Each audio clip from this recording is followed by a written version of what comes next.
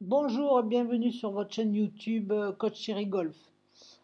Alors aujourd'hui, je voulais vous sensibiliser sur euh, les postures et les angles maintenus pendant le, pendant mouvement. J'ai fait une, vidéo sur euh, la conservation des angles, l'axe du swing et la conservation des angles. Donc là, je voulais vous sensibiliser sur les angles du corps Ok, on voit des postures très athlétiques avec des angles quel qu'il soit, parce que c'est pas les mêmes postures. Hein. Jason Day, il est un petit peu plus, euh, un terrien, euh, McIlroy un peu plus aérien, il est un peu plus léger sur les jambes, là, et l'appui. Mais peu importe, on va vérifier le maintien des angles pendant le mouvement. Alors là, j'ai tracé les angles. Qu'on a tendance à oublier un petit peu ces principes basiques Regardez comme les angles sont maintenus pendant la zone d'impact. Regardez chez Jason D. Pareil, les angles sont bien maintenus. Alors jusqu'à quel moment? On va voir ça ensemble.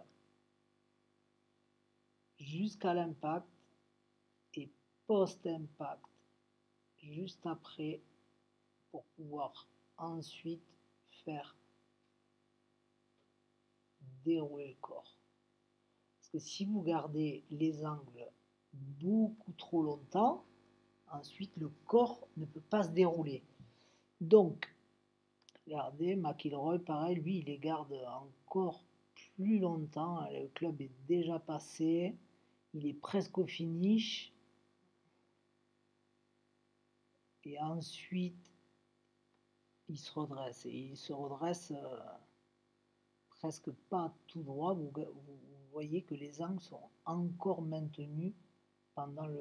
Alors ça après ça dépend de la, de la souplesse de chacun. Bon là c'est un fer donc euh, c'est pas, pas du tout le même principe parce qu'on passe au sol au lieu de prendre la balle en remontant, mais je voulais vraiment vous sensibiliser sur le principe des angles. Donc quand vous êtes à l'adresse, vous maintenez votre angle faut maintenir son angle et se dire, voilà, un principe, technique en posture, en se disant, voilà, je vais essayer de conserver les angles pendant le swing. Et souvent, ce qui, crée le, principe de ne pas garder les angles, c'est souvent qu'on veut aller voir le résultat un petit peu trop tôt.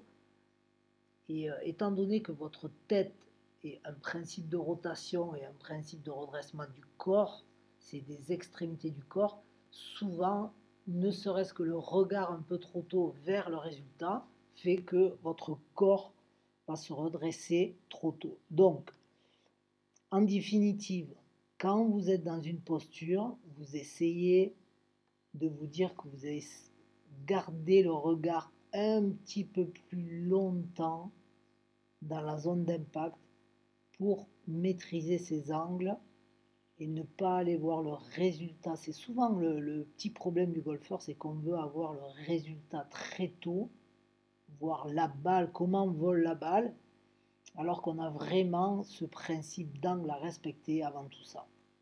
Alors je vous souhaite un bon entraînement et je vous dis euh, à la semaine prochaine. Bye bye.